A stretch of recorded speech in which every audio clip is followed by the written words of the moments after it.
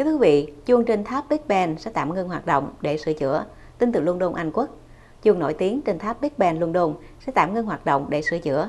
Đến năm 2017, chuông Big Ben trên tháp đồng hồ Quốc hội sẽ tròn 160 tuổi và kinh phí sửa chữa cho tháp chuông này tốn khoảng 29 triệu bảng Anh, tương đương 42 triệu Mỹ Kim.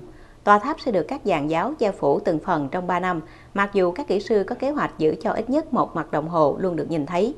Tuyên bố của Hạ viện cho biết theo kế hoạch sửa chữa, hệ thống chuông sẽ im lặng trong nhiều tháng liền, chỉ được giống lên cho những sự kiện đặc biệt. Công việc sửa chữa đáng kể lần cuối cùng trên tháp Big Ben là từ năm 1983 đến năm 1985. Lúc đó, cả chiếc đồng hồ khổng lồ lẫn tháp chuông cao 315 feet, tương đương 96 thước, đều được sửa chữa cùng một lúc. Lần này sẽ là Elizabeth Tower. Công việc sửa chữa sẽ bắt đầu từ tháng Giêng năm 2017. Dự án cũng nhằm mục đích khôi phục đường viền chung quanh mặt đồng hồ. Họ muốn giữ lại màu sắc ban đầu, được kiến trúc sư Charles Berry và Augustus Welby Pugin thiết kế vào năm 1856. Đường viền màu đen và màu vàng hiện nay được sơn lại trong lần sửa chữa vào thập niên 80.